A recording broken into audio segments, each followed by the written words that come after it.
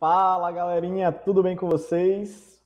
Meu nome é Felipe Passos, estamos começando aqui mais um momento Saberes e Viveres.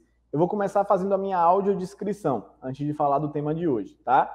Eu sou um homem branco, meu cabelo é preto, está cortado curtinho, eu não uso barba, estou é, utilizando um óculos de armação azul, estou vestindo uma camisa também azul e por cima dessa camisa um jaleco branco. Aqui atrás de mim tem um painel com a logomarca da Prefeitura e do Caminho de Educação. Vamos lá? Vamos começar a nossa conversa de hoje? Nosso tema de hoje é reeducação alimentar. Será que isso significa? Então, alimentar tem a ver com comida, né? Reeducar significa o quê? A gente pensar sobre, a gente mudar nossos hábitos, a gente repensar, reeducar a nossa prática em relação à alimentação. Mas vamos chegar lá, certo? Primeiro, vou fazer uma introduçãozinha aqui falando que todo ser vivo, tudo que é ser vivo, precisa de energia para continuar vivo. Sabia disso? Já viu isso na, nas suas aulas de ciências? Tem até um termo que a gente usa, né? Cadeia alimentar. Pois é. O que é essa cadeia alimentar? O Sol, ele é uma estrela, a estrela mais próxima do nosso planeta, e ele fica jogando aqui na Terra o tempo todo, ó, luz e calor. Luz e calor. Essa radiação que o Sol joga na Terra, ela é energia pura, né?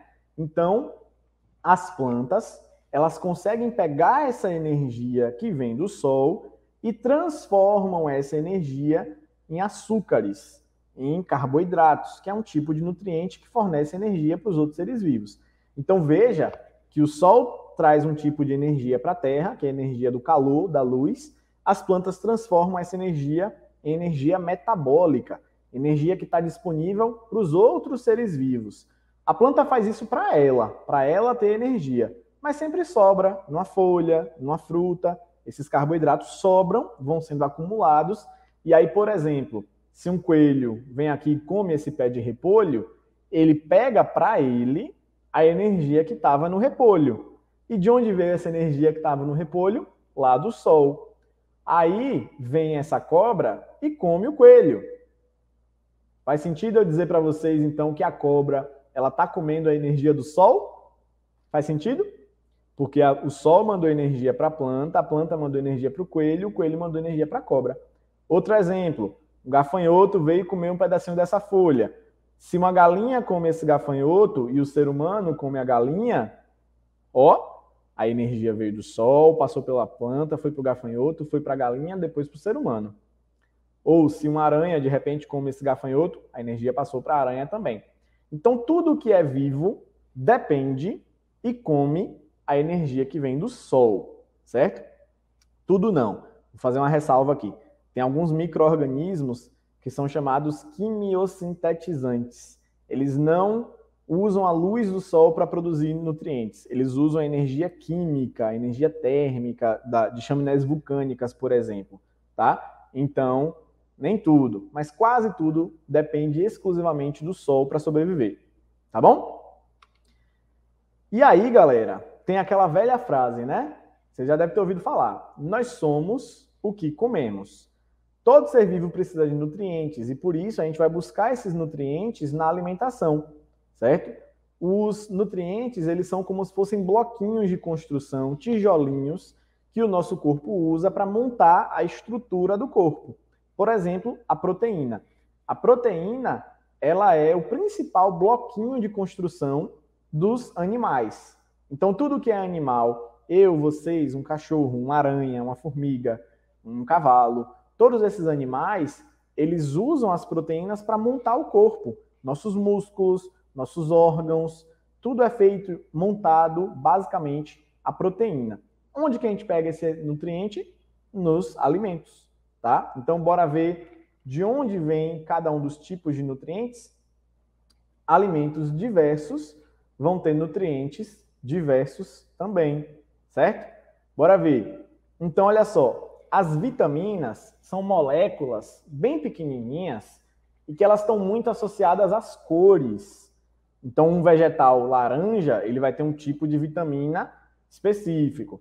Um vegetal mais vermelho vai ter outro tipo de vitamina e assim vai. Por isso que os nutricionistas falam que quanto mais colorida for a dieta, melhor.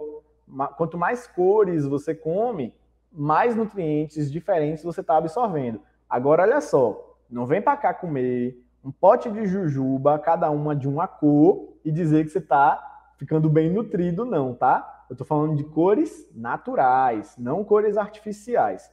Uma alimentação colorida com cores naturais é o que vai dar vários nutrientes diferentes para a gente. Carboidratos. Os carboidratos, eles podem ser chamados também de açúcares. Tudo que é produzido pelas plantas, é, que são moléculas chamadas de açúcar, são carboidratos, tá? Então, por exemplo, se a gente moe o grão de trigo para tirar aquela farinha do trigo para fazer um pão, você está tirando o carboidrato que aquele pé de trigo, aquela planta trigo produziu, tá? Se a gente usa, por exemplo, cana de açúcar, para produzir açúcar e colocar aquele açúcar no café, é um carboidrato que foi produzido pela cana de açúcar. As frutas têm carboidrato, basicamente açúcar, tá, gente? Então, assim, se eu estou dizendo para vocês que a farinha de trigo é um carboidrato e carboidrato é açúcar, faz sentido se eu disser para vocês que se a gente come pão, a gente está comendo açúcar? Macarrão, é, lasanha, pão, batata, aipim, Todos esses carboidratos que vêm das plantas é basicamente açúcar. Só que tem uma diferença, hein?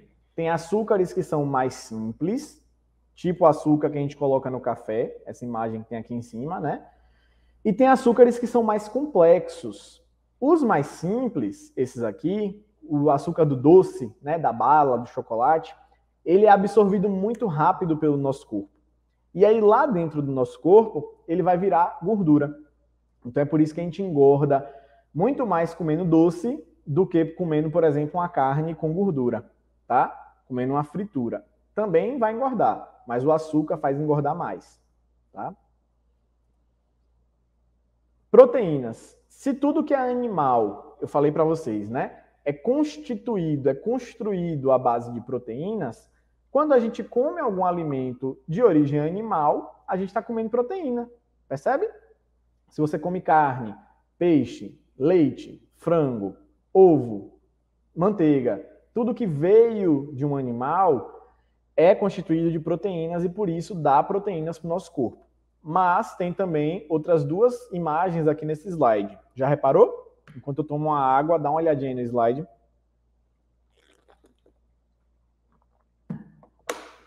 Tem aqui no slide uma vagem de ervilha que é um parente do feijão, né? Da lentilha, do andu, do mangalô. Todas essas sementes que vêm dentro de uma vagem, esse fruto em formato de espada, né? É, são os legumes, tá? E as leguminosas, os legumes, são plantas que costumam é, acumular proteínas. Então, quando a gente come feijão, ervilha, lentilha, andu, mangalô, Deixa eu ver o que mais. Grão de bico, soja, todas essas sementes que vêm numa vagem são legumes e por isso elas contêm uma certa quantidade de proteína, tá? Tem outras plantas que têm proteína também, mas vou colocar aqui um destaque para o feijão, né? O bom e velho feijão que está no nosso dia a dia aí. E os cogumelos também. Fungos são organismos que não são nem planta nem animal, sabia? Porém, a constituição do corpo dos fungos parece com dos animais. Eles são feitos de proteína, principalmente uma proteína chamada quitina. E aí, é, essa proteína, quando a gente come o cogumelo comestível, tá, gente? A gente está adquirindo proteína. Vou fazer uma ressalva aqui também. Não é para chegar no quintal de casa, pegar um cogumelo qualquer e comer. Pelo amor de Deus, não faça isso. Por quê? Tem muitos cogumelos que são tóxicos. Tem algumas espécies de cogumelos que a gente já sabe que são comestíveis e por isso a gente come. Mas quando chove, numa grama, num muro, num tronco de árvore, geralmente surgem cogumelos, né? Para um especialista, ele vai saber dizer qual é comestível, qual não é. Você, eu, pessoas que não têm essa especialidade, essa especialização, não vamos chegar comendo cogumelo no quintal de casa, não, tá, gente? Porque você pode ter uma baita dor de barriga, uma intoxicação, em alguns casos pode levar até a morte. Então, muito cuidado com isso. Lipídios. Lipídios são as gorduras e óleos, tá? Tudo que você imaginar aí que seja gorduroso, que seja oleoso, é lipídio. Ah, professor, lipídio só faz mal, né? Não. Tem algumas gorduras específicas que fazem muito bem, são necessárias para o nosso sistema funcionar, tá? Então, as oleaginosas, por exemplo, essas sementes que têm bastante óleo são importantes, elas têm substâncias que fazem bem para a nossa saúde. O óleo disponível no abacate é bom para a nossa saúde também, óleo de peixe é bom. E tem aquele óleo que vai ser ruim. É o óleo da carne vermelha, o óleo de frituras, esse vai ser ruim mesmo. Minerais. Minerais são moléculas bem miudinhas e elementos químicos que vão estar disponíveis na natureza. Às vezes não é nem o organismo que produz esse mineral. Quer ver um exemplo? É, couve. Couve é uma planta, né, que ela tem muito cálcio. Esse cálcio estava lá na terra, estava no solo que o pé de couve foi plantado. A planta, ela só fez o seguinte: pegou o couve do solo e jogou lá para a folha. A gente vai comer a folha e come esse cálcio. Então, aquele cálcio que a gente costuma ouvir falar muito, que está presente no leite, tem outros alimentos que também têm cálcio, tá? Dieta. Quando a gente fala a palavra dieta, muita gente traz aí à mente aquela questão do emagrecimento, né? O pessoal fala assim: ah, vou fazer uma dieta para emagrecer. Não é bem assim. Dieta não é só para emagrecer, galera. Dieta pode ser definido como todos os alimentos sólidos e líquidos que a pessoa consome ao longo da vida. Então você tem uma dieta ali que você tá que, que faz parte do que você come. Não quer dizer que a pessoa vai fazer uma dieta para emagrecer, não. Dieta é o que a gente come, em outras palavras. Tem dieta, inclusive, que é para engordar, né? A gente faz o uso dos alimentos, tal, tal e tal alimento, isso faz parte da minha dieta. Ponto. Por exemplo, eu posso dizer que a minha dieta hoje foi ovo cozido e vitamina de banana. Se eu no café da manhã comi um ovo cozido e uma vitamina, isso foi a minha dieta hoje, nesse momento.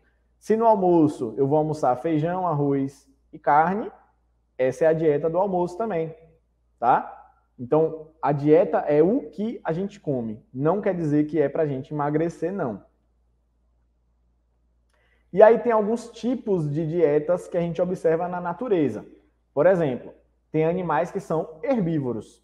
Eles só comem, ou 99,99% ,99 do que eles comem, é de origem vegetal, então eles são herbívoros. Se tem um animal que ele só come outros animais, ele é chamado de carnívoro. E nós, seres humanos, o que, é que a gente come? A gente come alimentos de origem vegetal e a gente também come alimentos de origem animal. Então a gente é onívoro. Onívoro são esses animais que têm uma dieta mista, né? Pense o seguinte: a gente come ovo de galinha, que é de origem animal, e a gente come banana, é uma fruta, é um vegetal. Então a gente é onívoro, não tem para onde correr. É, inclusive, uma pesquisa que eu achei bem interessante, é, descobri essa pesquisa aí na internet. Pesquisadores, lê comigo, ó. Vamos fazer a leitura? Seres humanos foram feitos, entre aspas, para comer de tudo, sugere flora intestinal. Pesquisadores, pesquisa realizada lá nos Estados Unidos, mostra que micróbios do nosso intestino são de onívoros, são correlacionados com de animais onívoros. Até pessoas totalmente vegetarianas carregam menos microorganismos do que herbívoros. O que é que isso significa? Se uma pessoa ela resolve escolher a dieta vegetariana e aqui eu não estou fazendo crítica, tá? Inclusive é uma filosofia que eu admiro muito. Não sou vegetariano, mas eu admiro quem é. é... A pessoa que escolhe fazer essa dieta, ela acaba tendo uma redução na microbiota intestinal. O que é microbiota? Os micro-organismos que vivem no intestino. O que é que isso significa? Que naturalmente a gente deveria ter mais micro-organismos preparados ali para ajudar na digestão de diversos alimentos que a gente come. carne, pão, banana, né, frutas em geral. Então, assim, se a pessoa escolhe essa dieta, a microbiota intestinal ela diminui, o que significa que nosso corpo ele é preparado para receber de tudo e não só vegetais.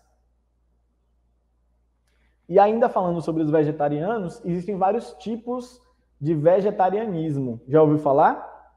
Tem o ovo-lacto-vegetarianismo. Essas pessoas, esse nome grande aí que a gente está vendo aqui, significa simplesmente que a pessoa não come carne, tá? Carne. Carne vermelha, carne branca, carne de peixe, camarão, qualquer animal, né? O corpo do animal não vai ser comido por aquelas pessoas. Porque tem gente que diz assim: ah, eu não como carne. Aí a pessoa vai e oferece um pastel de frango. A pessoa fala: olha, mas eu não como carne. Aí quem deu o pastel fala: ué, mas aqui não é carne, não é frango. Gente, o frango é um animal. Então a carne do frango, por mais que ela seja branca e não vermelha, continua sendo carne, tá? Então, vegetariano, um ovo-lacto vegetariano, ele somente não come carne. Agora, vegetais, frutas, ovos, laticínios e grãos, ele come. Tem também o lacto-vegetariano. Essa pessoa que escolhe a dieta lacto-vegetariana, ela só não come ovo e carnes, em geral. Então, laticínios ela come, grãos ela come, frutas, vegetais, raízes ela come. Tem o ovo vegetariano. Ele só não come laticínios, mas come ovo. O resto dos vegetais ele come também. E animal, a carne, ele não come. Tem o frugivorismo. Isso aqui eu confesso que é novidade para mim. Tem pessoas que baseiam a dieta somente em frutas. Acredita nisso? A pessoa só come fruta. Tem o crudivorismo. São alimentos que não são cozidos, tá? Então a pessoa come vegetais, frutas e grãos, contanto que não sejam cozidos. Porque dessa filosofia não sei explicar para vocês, mas a pessoa não vai comer nada de origem animal, ovo, leite, manteiga e a carne, óbvio que não.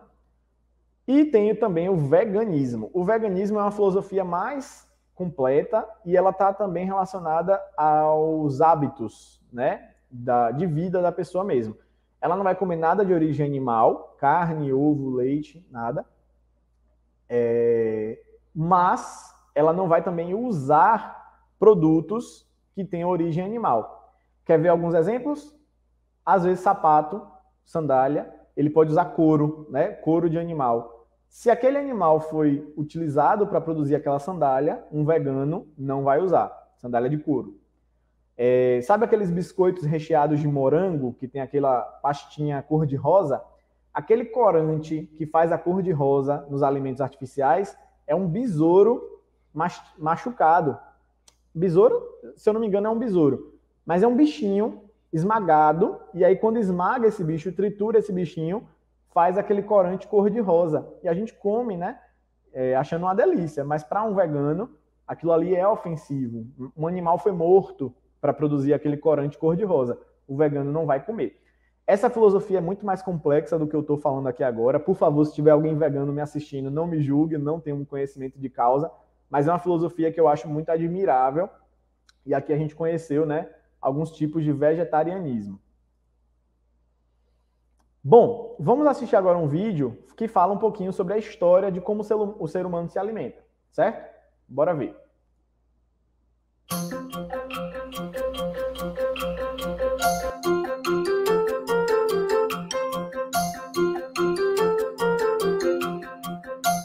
A vida na pré-história não era nada fácil.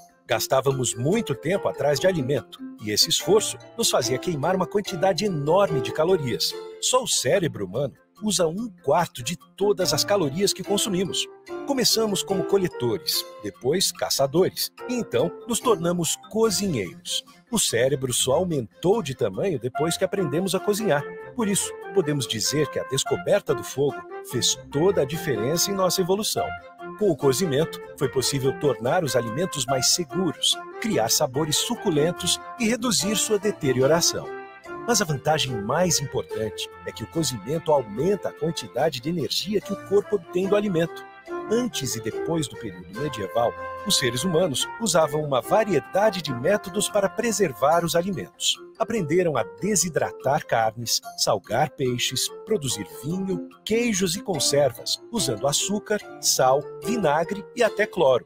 Só mais tarde, nos séculos 18 e 19, surgiram os alimentos enlatados e os pasteurizados. Comer alimentos frescos e naturais já foi considerado algo muito suspeito, e só os pobres e famintos recorriam a eles, pois eram desagradáveis e tinham gosto ruim. A maioria se mantinha com sobras, comendo mingau ralo e pão duro. A expectativa de vida de nossos antepassados era muito menor do que a nossa, e uma das causas era a dieta agravada pelas condições de vida, infecções e doenças. Hoje, temos opções para todos os gostos. Podemos decidir quando a comida natural e artesanal é preferível à processada e rápida. E não podemos nos esquecer que, mesmo na opção pela comida natural, usamos alimentos processados como sal, farinha, açúcar, chocolate, óleos, café, chá. Mas atenção! Como tudo na vida, a comida processada tem seus prós e contras. O consumo exagerado pode levar a sobrepeso, obesidade e suas consequências. Então, para ter uma vida saudável, a dica da SBAN é: independente da sua escolha, o importante é adotar moderação e parcimônia em sua alimentação.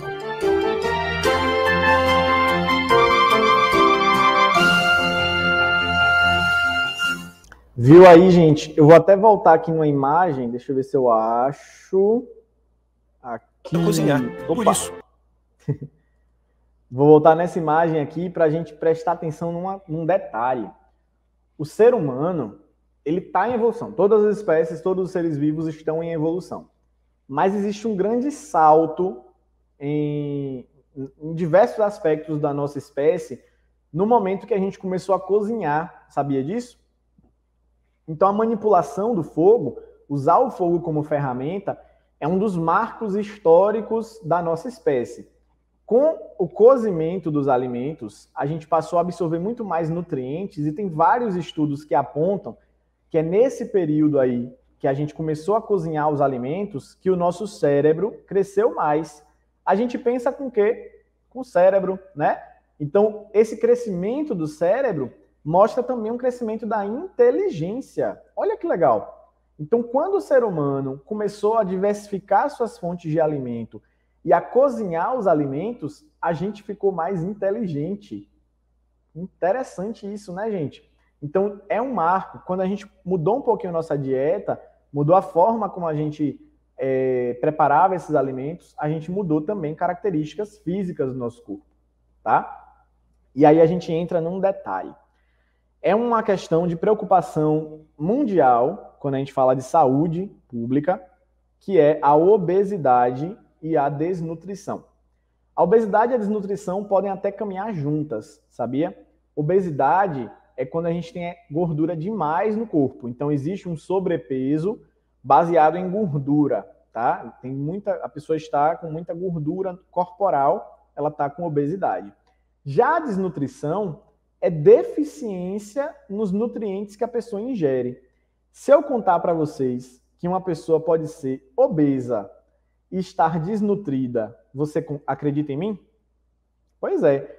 A obesidade e a desnutrição podem trabalhar, podem caminhar juntas, tá? A pessoa pode estar obesa e ser desnutrida. O que é que significa isso? Ela está comendo muita fritura, muita gordura, ela tem maus hábitos alimentares só que apesar de comer tanta coisa, essas coisas que a pessoa está comendo não tem nutrientes suficientes. Não tem vitaminas não, diversas, não tem sais minerais diversos, não tem proteínas diversas, e aí a pessoa está desnutrida, apesar de estar com sobrepeso, está com muita gordura corporal. Percebe?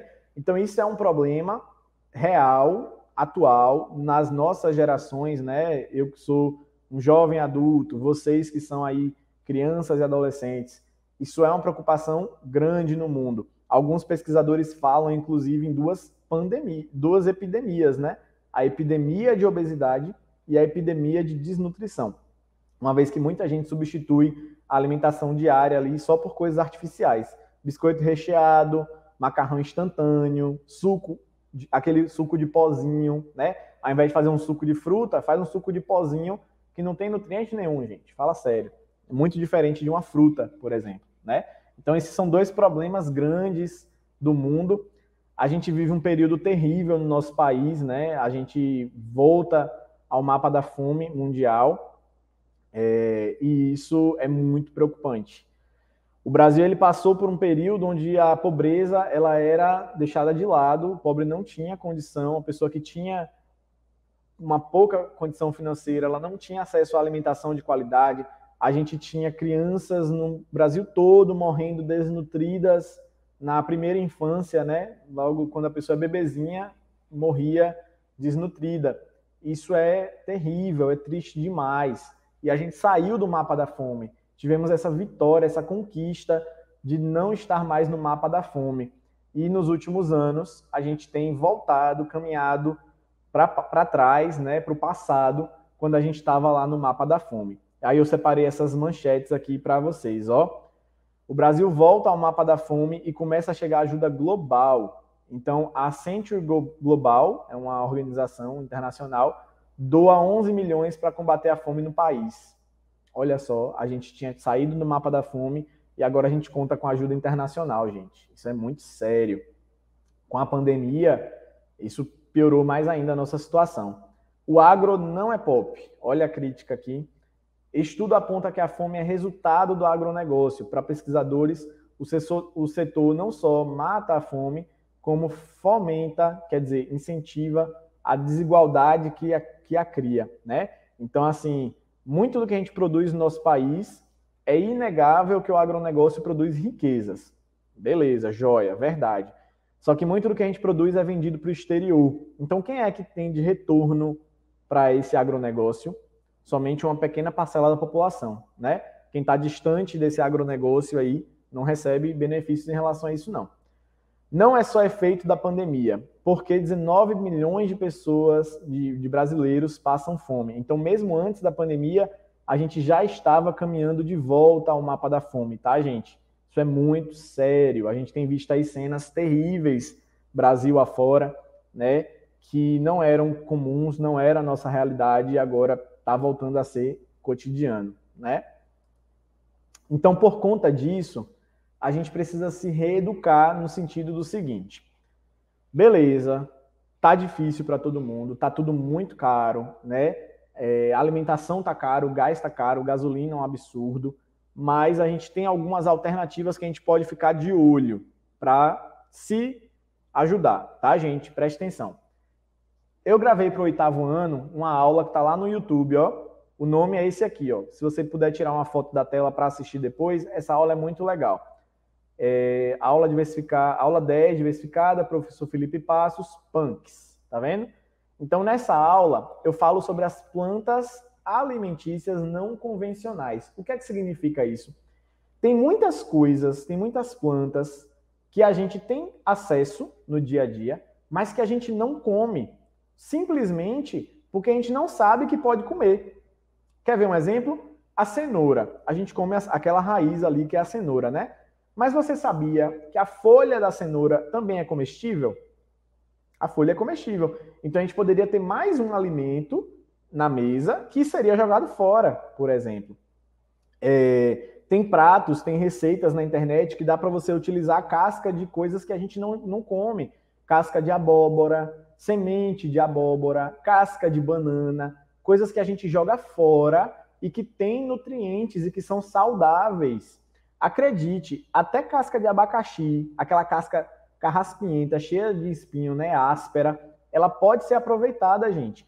Então, quando eu estava estudando para fazer essa aula aqui das punks, eu fiquei muito surpreso é, de várias coisas que a gente joga fora e que poderiam servir de alimento para a gente, tá? Então, eu aconselho que quando você tiver um tempinho, você vai lá no YouTube assistir essa aula, que é muito legal. A gente, eu, aprendi muito produzindo essa aula e espero te ajudar também a, a compreender que tem muitas coisas que a gente joga fora que a gente poderia não jogar fora, né? Tem muitas plantas, partes de plantas que a gente não consome e que também têm nutrientes e poderiam ajudar a gente a passar por essa crise, tá? Eu não estou dizendo que vai resolver o problema, mas pode nos ajudar. Então, vamos ler juntos essa frase aqui. Se um melhor aproveitamento dos alimentos já era uma boa opção para o bolso, para a saúde e para o meio ambiente, no cenário atual, é mais importante ainda conhecer novas possibilidades de alimentos, de coisas que a gente pode comer, tá? Então vou repetir, não é para resolver o problema, mas pode ser que ajude a gente, tá? Por isso que a gente precisa fazer essa reeducação, repensar o que a gente come, comer alimentos diversos que nos tragam nutrientes, tentar comer menos coisa artificial, né? Que às vezes é barato, às vezes é gostoso, né? Um biscoitinho recheado é bom, gostoso. Mas se a gente baseia a nossa dieta nisso, a gente pode ficar desnutrido, a gente pode ter problemas de saúde, tá, gente? Beleza? Então, essa foi a nossa aula de hoje. Aqui foram as referências que eu estudei para fazer esse material para vocês. Espero ter ajudado vocês a abrir um pouquinho a mente sobre como a gente se alimenta, como o ser humano se alimenta.